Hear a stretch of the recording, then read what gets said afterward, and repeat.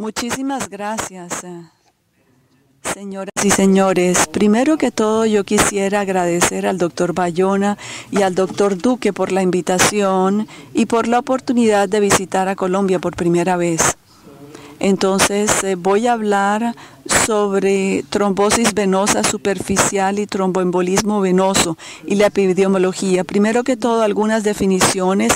Vamos a hablar sobre trombosis venosa superficial eh, en las extremidades inferiores y vamos a ver la parte de la exclusión de la tromboflejitis iatrogénica después de eh, la terapia intravenosa en las extremidades superiores del catéter y eh, vena varicosa, trombosis de vena varicosa relacionada con ablación química y una enfermedad especial, la enfermedad de Mondor, descrita en 1939 por un francés y es una tromboflebitis especial de las venas subcutáneas o linfática. Esto es el examen clínico. Ven ustedes el aspecto típico de una trombosis venosa superficial, pero en algunos casos puede ser únicamente un dolor aislado y no necesariamente venas varicosas, muchas veces completamente asintomático.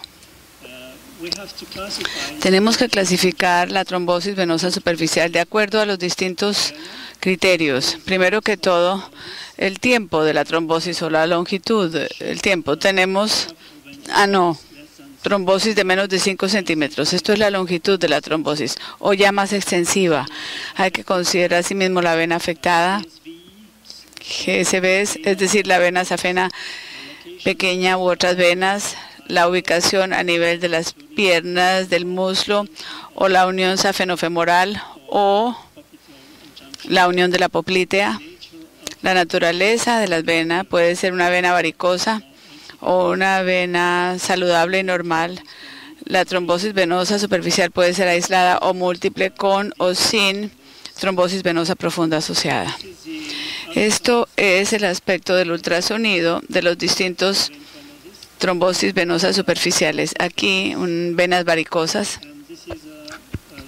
Y esto es una trombosis que afecta a una vena no varicosa. Y ustedes pueden ver que la vena no está tan agrandada y que hay un engrosamiento de la pared y el trombo no es tan claro como en este otro caso, cuando es trombosis de venas varicosas. Y esto es una ilustración de la enfermedad de Mondor y ven ustedes acá, es una vena subcutánea muy pequeña la que está afectada. Generalmente no es tan fácil de ver este tipo de trombosis. Pero naturalmente el ultrasonido por Doppler es mandatorio porque es el único examen que nos puede mostrar precisamente la extensión de la trombosis aquí en la unión safenofemoral. Hay alguna, hay distintas posibilidades, digamos, para asociarla con la trombosis venosa superficial y la trombosis venosa profunda. Si eh, la trombosis venosa profunda acompaña a la superficial, puede estar relacionada con la extensión a través de la unión o de una vena perforante. También puede ser ipsilateral, trombosis venosa profunda, sin que haya una conexión directa o en algunos casos la contralateral, también trombosis venosa profunda. Durante el seguimiento podemos observar claramente la aparición de una nueva trombosis de la vena superficial y puede ser una extensión secundaria de la trombosis de la vena superficial a una vena profunda o una vena superficial y también se puede observar trombosis venosa profunda y también embolía pulmonar. Ahora miremos la epidemiología. Es una condición común a nivel mundial, pero la verdadera incidencia y prevalencia casi no se conocen. La prevalencia de la trombosis venosa superficial es superior a la prevalencia de la trombosis venosa profunda. Y de hecho, ya hemos visto la incidencia en Francia a más o menos 250 mil casos y la incidencia aumenta con la edad y es más frecuencia en las mujeres, eh, frecuente en las mujeres. La prevalencia de la enfermedad tromboembólica y de su historia.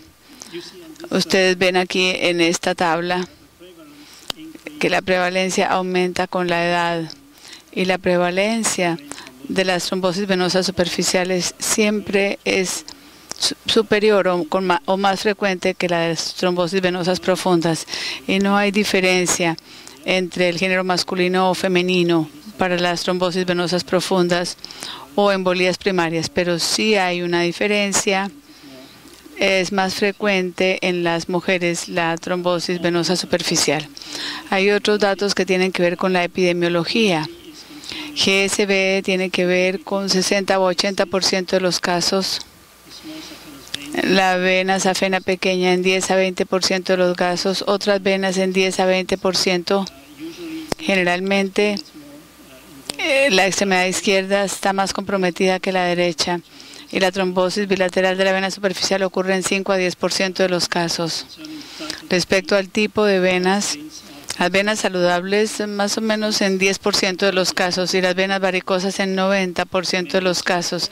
Los factores de riesgo más importantes son venas varicosas, traumas y los factores de riesgo típicos, como por ejemplo trombofilia hereditaria, lesiones malignas.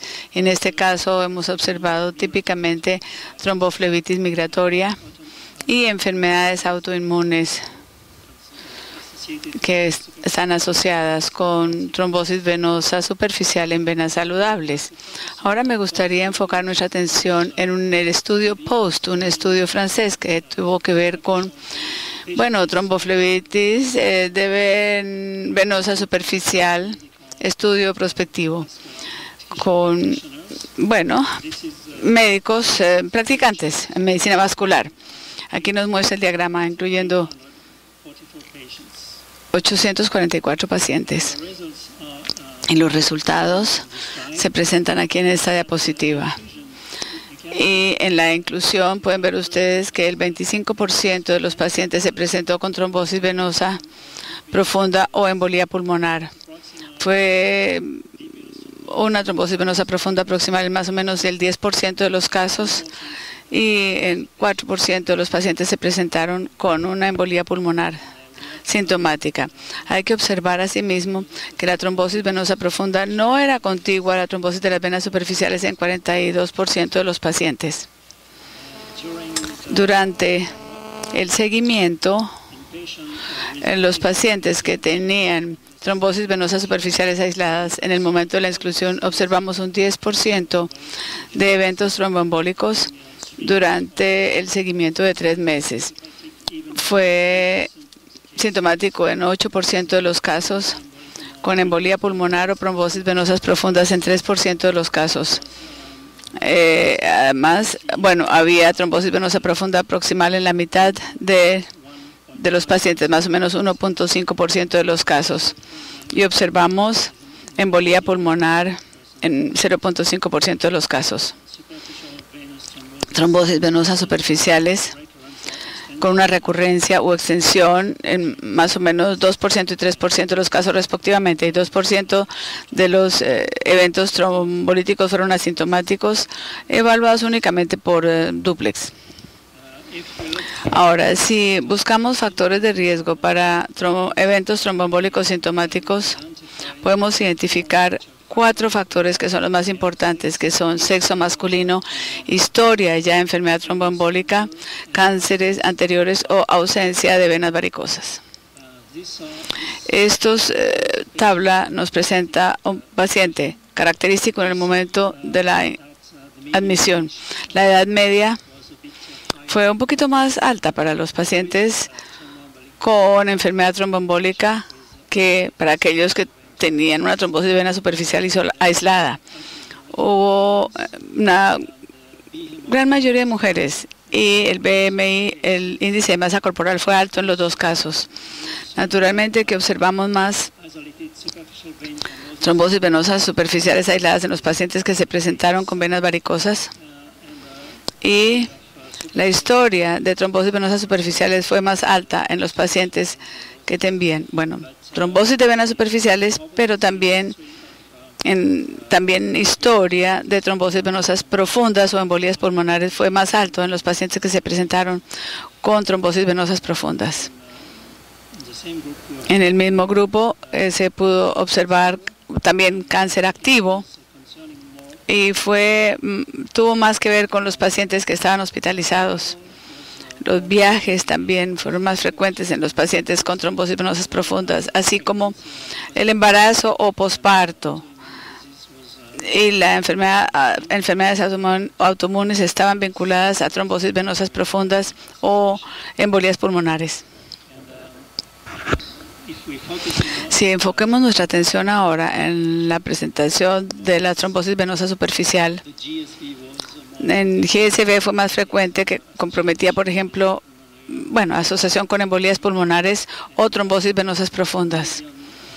Y la distancia mediana desde la cabeza del trombo hasta la unión safenofemoral fue más corta en el caso de las asociaciones con trombosis venosas profundas o embolías pulmonares. También hemos observado que en los casos de asociaciones con trombosis venosas profundas o embolías pulmonares fue más frecuente el observar dos trombosis de venas superficiales en el mismo paciente o extensiones a las venas perforantes. Y en las trombosis de las venas superficiales aisladas con frecuencia se observó en pacientes con venas varicosas, por supuesto. Otro punto que también es muy importante es la asociación con el cáncer. Y estos son resultados provenientes del estudio Optima, que fue publicado el año pasado. Y ustedes pueden ver ahí que hay una incidencia mayor de cáncer en los pacientes que se presentaron con trombosis venosas superficiales y, y que en los de trombosis venosas profundas. No hubo incidencia de cáncer en los pacientes con venas superficiales y embolías pulmonares y unos pocos casos de cáncer en el caso de trombosis venosa superficial aislada. Esto es, cierto para las venas varicosas, pero el riesgo aumenta en los pacientes que se presentan con trombosis venosas superficiales y que tienen que ver que no son necesariamente venas varicosas, y especialmente en los casos de asociaciones con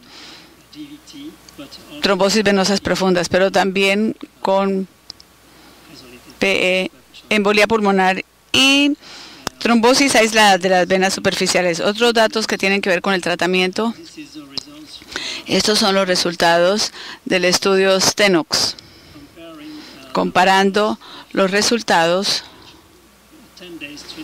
de tratamiento de 10 días con enoxaparina, 40 miligramos al día.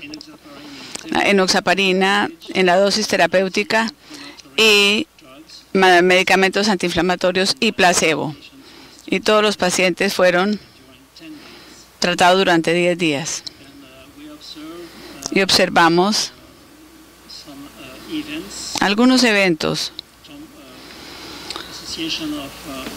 asociados con trombosis venosas profundas y embolías pulmonares.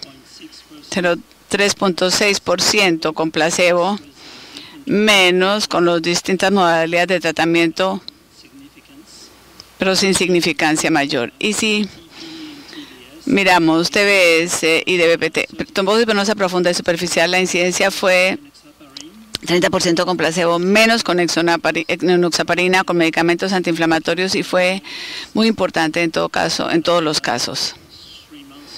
A un seguimiento de tres meses tuvimos los mismos resultados con relación a la incidencia de trombosis venosas profundas y de embolías pulmonares. No fue significativo, sin embargo, con enoxaparina o con medicamentos antiinflamatorios, pero sí tenemos en cuenta también los eventos trombóticos. Ahí se muestra un beneficio con los medicamentos antiinflamatorios, especialmente medicamentos anticoagulantes, pero no hubo diferencias entre los regímenes profilácticos y los regímenes curativos. Esto es la explicación. En estas gráficas vemos todos los eventos trombóticos que ocurrieron después de 10 días y ocurrieron con mayor frecuencia con tratamientos alternativos. Sin embargo, esto, esta cifra nos muestra el tratamiento de 10 días no es suficiente. Por eso es que se diseñó otro estudio, el estudio Calisto, comparando un estudio doble ciego aleatorizado con placebo y fondaparinux como tratamiento profiláctico, 2.5 miligramos una vez al día. Y estos son los resultados y ustedes pueden ver del fundaparinox disminuyó los eventos trombóticos a menos de 0.1% comparado con un 5% con placebo. Y los resultados son perdurables con el tiempo. Pero este estudio tiene sus limitaciones y están representados, bueno, por un lado los criterios de inclusión. En este estudio, por ejemplo, la distancia del trombo a la unión safenofemoral era de menos de 3 milímetros, no, de menos de 3 centímetros, era un criterio de exclusión. También sin trombosis venosa profunda o embolía pulmonar también fue un criterio de exclusión, también como historia de trombosis venosa superficial de menos de tres meses, cáncer activo o insuficiencia renal crónica. Sin embargo, podemos sacar algunas conclusiones. La trombosis venosa superficial es más frecuente que la trombosis venosa profunda y eh, ocurre con mayor frecuencia en las mujeres con venas varicosas o mujeres obesas. La trombosis venosa superficial está asociada con trombosis venosa profunda o embolía pulmonar en un 25% de los casos y esa es la razón por la cual el examen con duplex es obligatorio, mandatorio, para confirmar por un lado la trombosis venosa superficial, para evaluar la extensión del trombo, pero asimismo diagnosticar trombosis venosa profunda potencial en la extremidad tanto ipsi como la contralateral. Sabemos también que los eventos trombóticos ocurren en 10% de los casos a tres meses de seguimiento. Y los factores de riesgo más importantes son el sexo masculino, historia de enfermedad tromboembólica, cáncer anterior y ausencia de venas varicosas. Y sabemos también ahora que las seis semanas con una dosis baja de anticoagulación es efectivo como tratamiento para evitar los eventos sintomáticos. Muchas gracias.